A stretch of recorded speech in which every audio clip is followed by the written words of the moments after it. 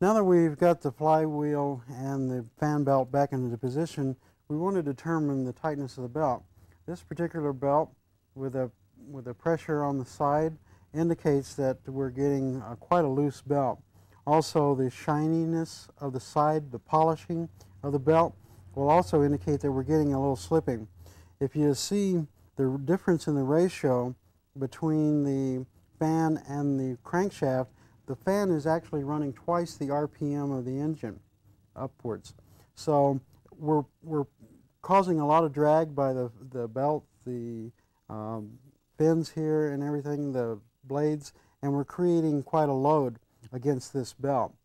So we want to be sure again that it is tight enough to drive.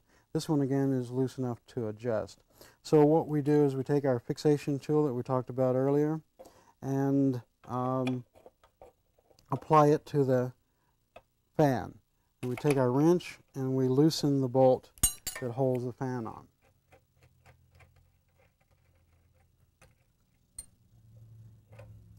What we'll see inside is that the fan will run against the belts or there will be a washer uh, running against the belt at that point.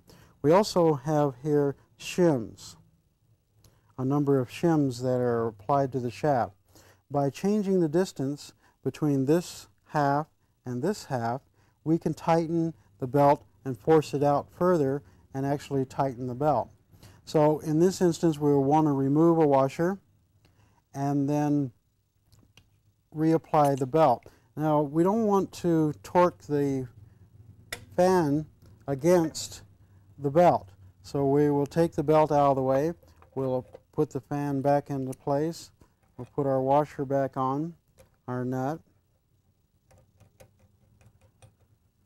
With our fixation tool, again, we will apply it and tighten the nut. And you will torque that to the specification in your operator's manual. Now that we've got that off,